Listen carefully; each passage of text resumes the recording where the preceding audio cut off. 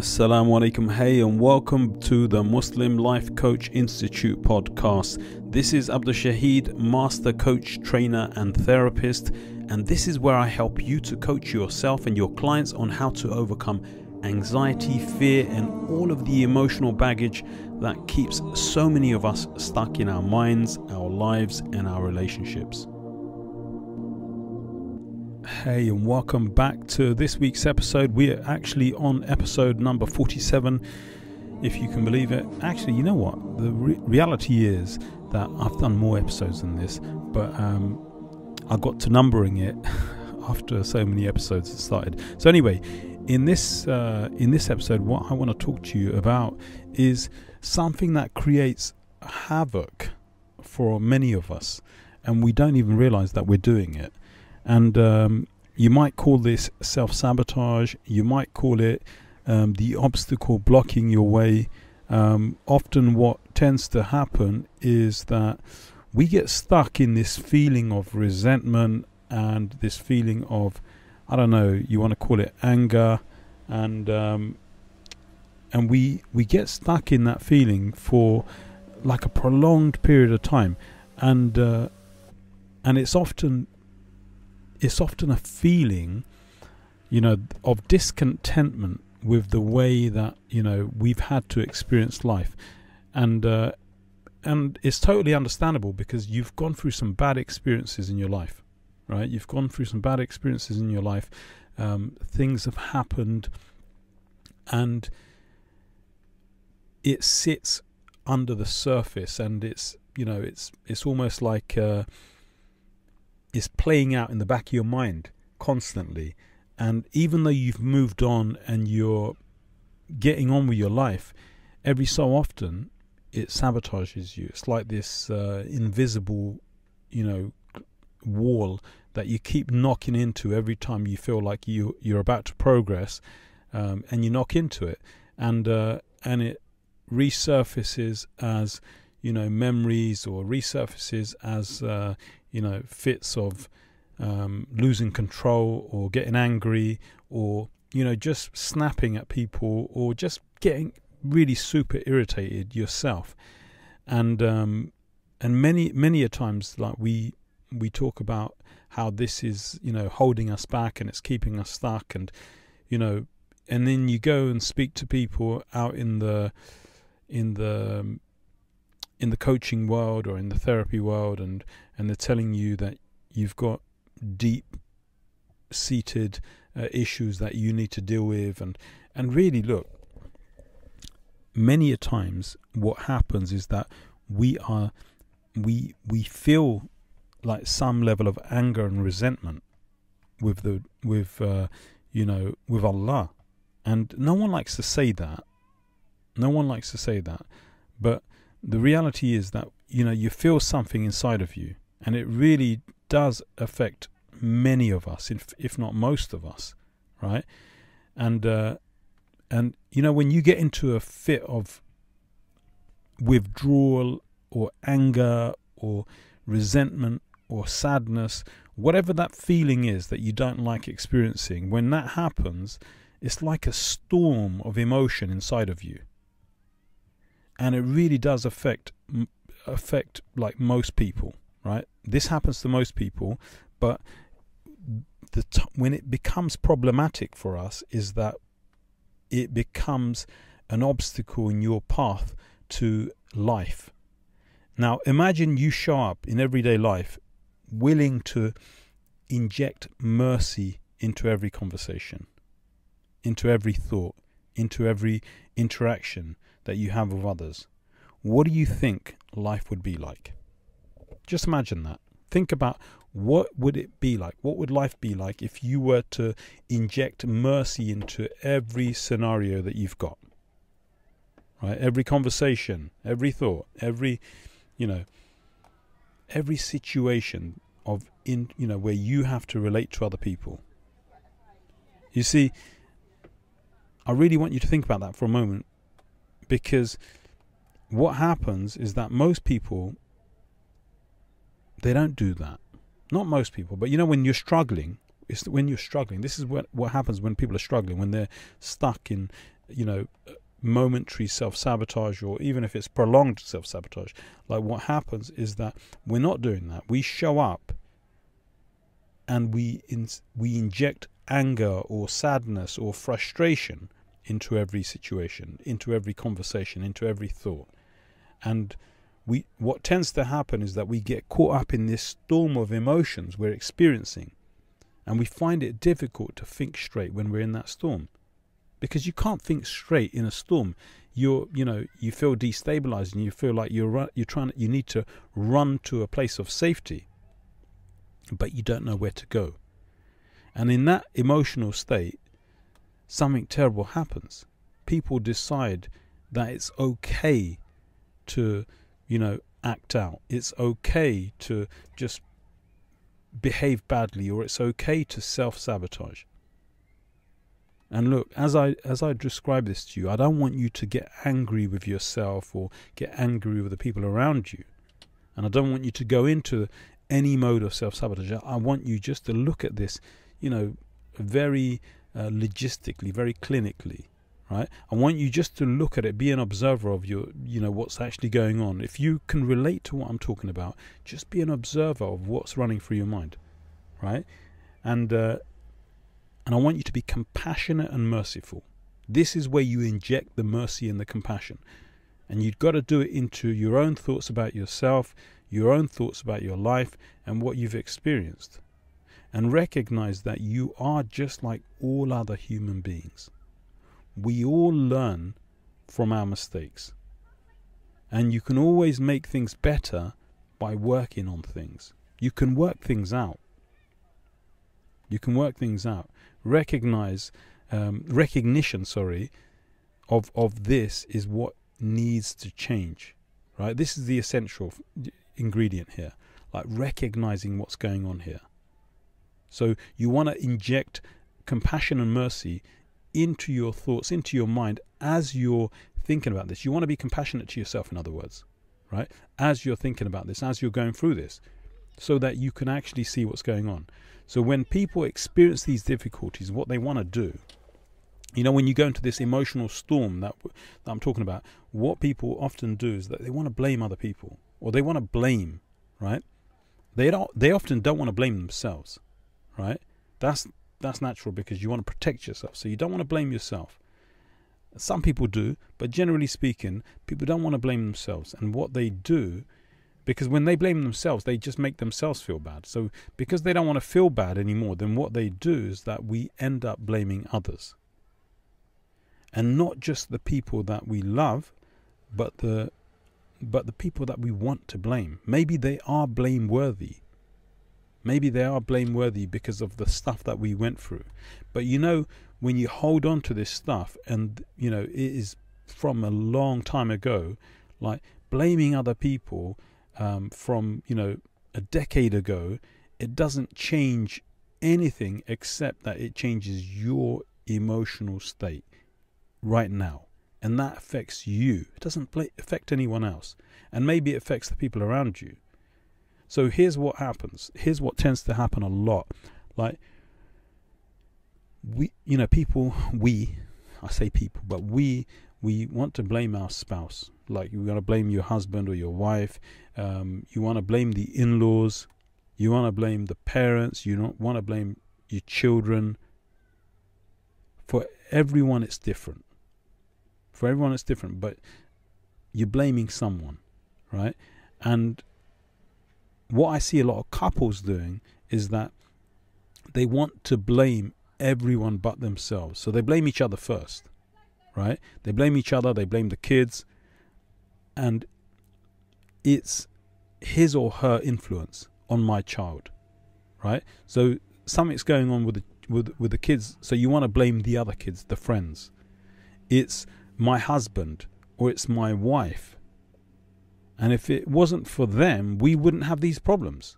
Like, you know, parents do it all the time. They blame the children. Couples do it all the time. They blame the in laws.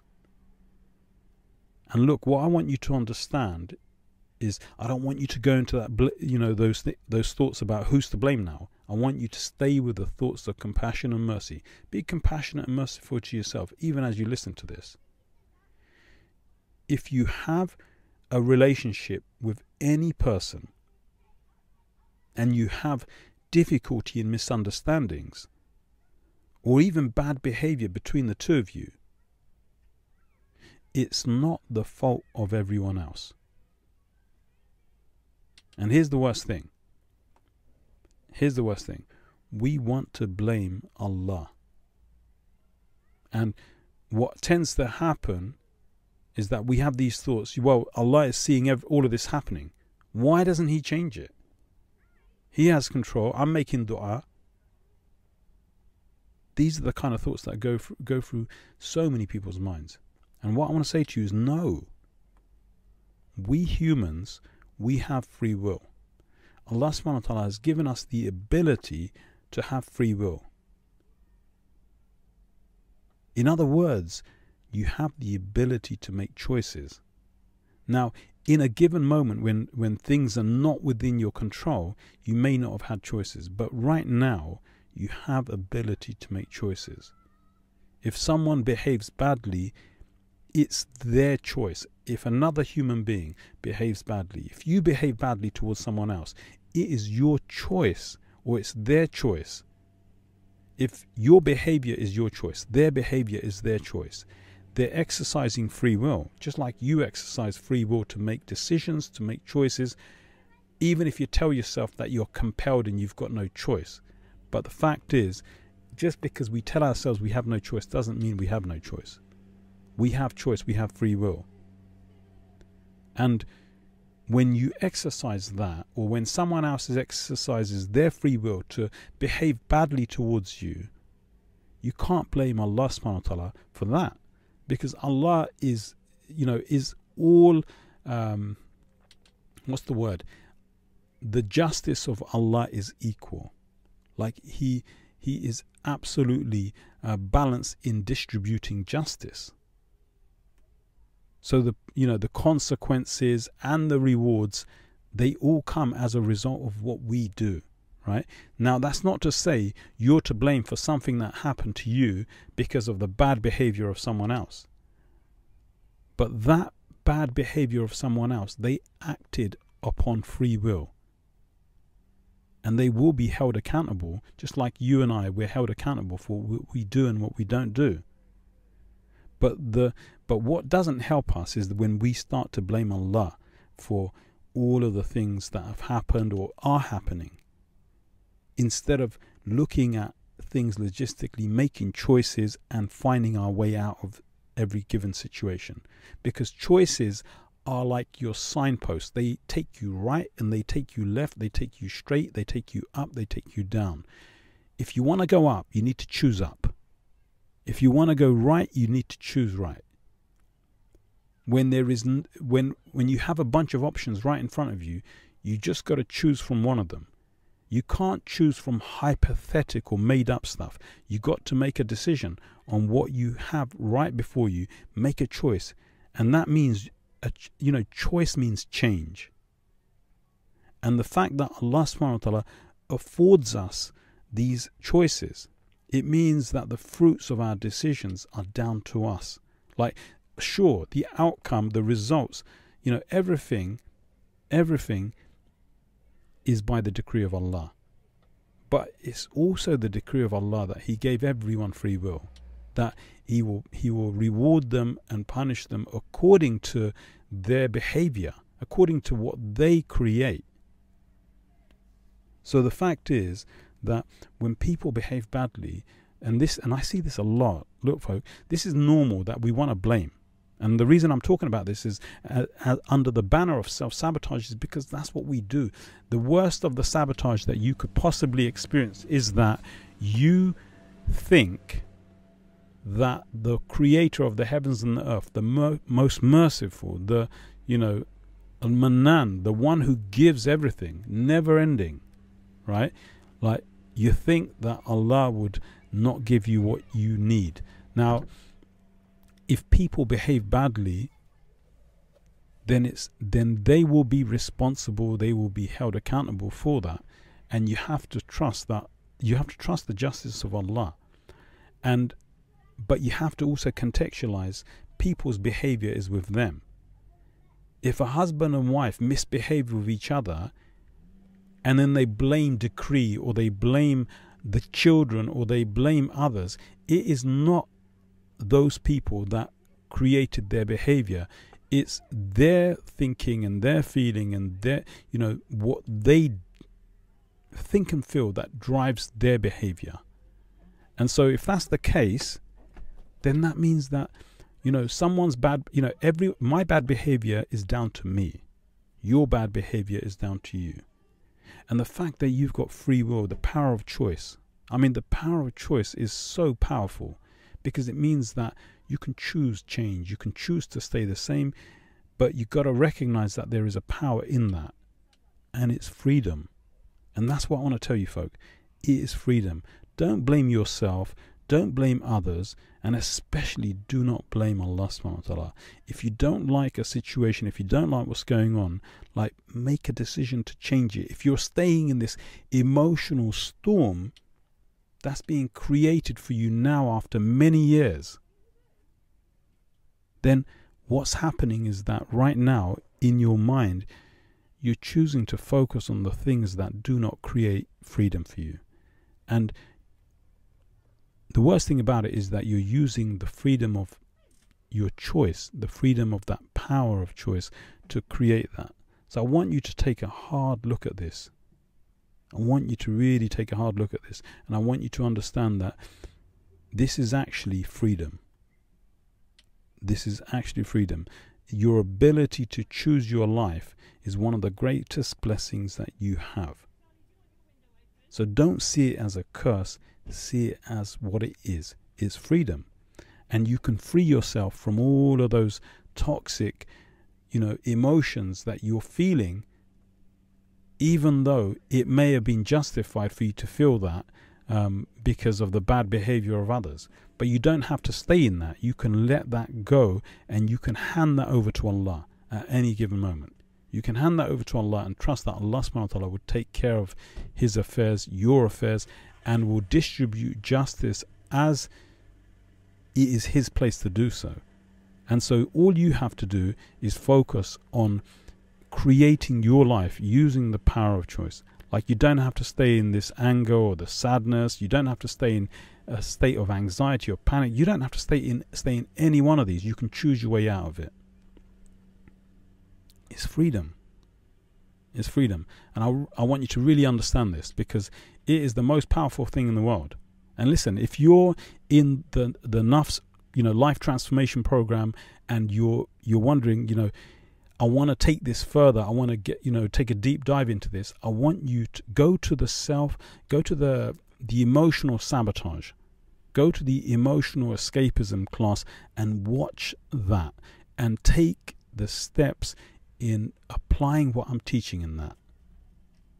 If you're if if if you really want to get over this and you're struggling with this, I want you to, and you're on my program, then listen, like, because I'm, I'm speaking to you because I know that many, many of you who listen to this are students of the, of the, of the life transformation program and you're already going through this journey. So if you're doing that, I want you to go to the, you know, the emotional escapism and understand that, like really reflect on what, what is being taught there because it's so powerful, because it happens to all of us. It's a human thing.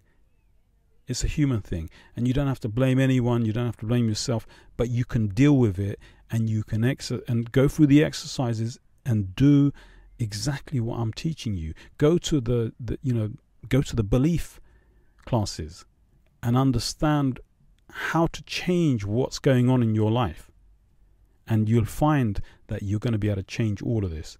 And listen, folk, if if you're not in the program, like go back over these, go back over um, the previous podcasts that I've put out.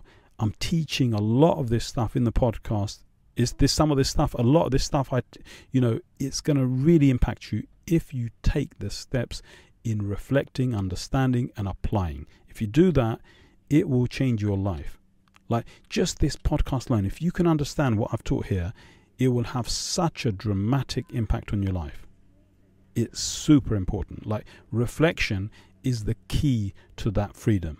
Reflection is the key to that awareness, to opening up your heart, to understanding what's going on. If you can understand what I'm teaching you here, like it'll have a massive impact. I hope it all makes sense, and uh, and take action. Like take mental action. That's the first action that you got to take. And uh, and if that makes sense, then just look out, look out for what's to come in the in the coming podcast. Inshallah, I'm going to share some some some golden nuggets with you, and uh, and of co- of course, all of this stuff is is you know it is uh, emanating from the the science of the nafs, um, something that we're going to use to transform our lives. Inshallah. Jazakumullah khair. Hey, if you're ready to actually take the steps to transform your life I want to invite you to join me on the Nafs Life Transformation Coaching Program, where I help you to take the steps to making the transformation of your mind, your relationships, and your life. Just go over to themuslimlifecoach.org forward slash live. That's the T H E Muslim Life Coach.org, O R G forward slash live